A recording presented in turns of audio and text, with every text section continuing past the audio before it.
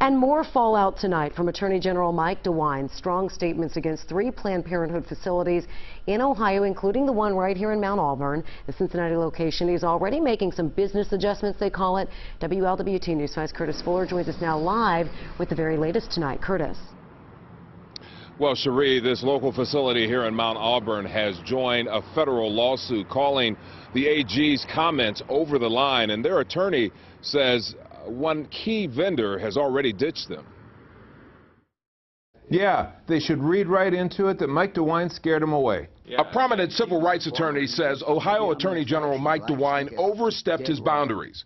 Because of DeWine, Al Gerhardstein says the company that handled fetal tissue for the local Planned Parenthood bailed out on its contract. When the government goes on TV and takes a private vendor and, and talks about him as if they're some sort of evil incarnate, they're going to scare him away. And I bet he, he intended that. The Cincinnati office is one of three facilities around the state targeted in an investigation by DeWine's office.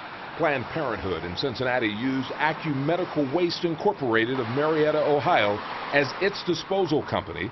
The Attorney General called the disposal process inhumane because it was sent to a landfill in Kentucky.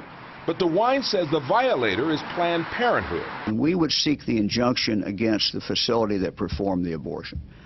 The buck stops with them. This isn't pleasant stuff, but it is an important matter to resolve in a calm way. So yes, Planned Parenthood had their vendors scared away. We got another one. We hope that one sticks.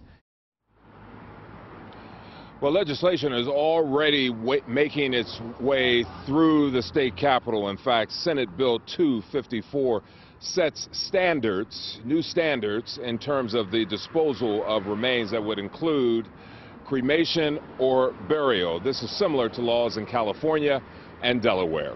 Reporting live, I'm Curtis Fuller, WLWT News 5. All right, Curtis, thank you. The federal lawsuit uh, Curtis mentioned there is now set to appear in court. That will happen January uh, 4th. That federal lawsuit will happen.